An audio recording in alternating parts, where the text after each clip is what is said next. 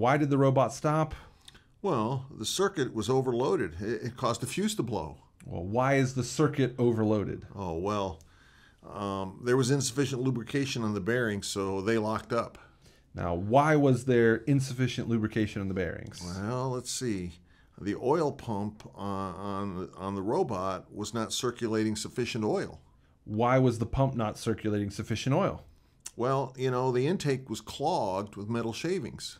Why was the intake clogged with metal shavings? Well, because there was no filter to keep the metal shavings out. Haha!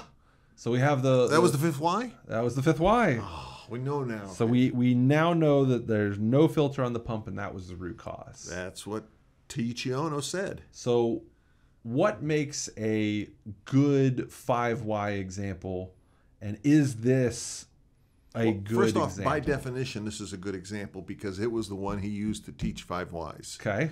So if the guy who created five whys says this is a good example, who am I to argue with it? So so when we look at these examples, we want to look and say, did they get to root cause? Is there something missing, and is there something more? So what do we think about? What do you think about this example? well, I think this is a, a good example of where five whys fall short because first off, I don't think there's no filter on the pump is a root cause.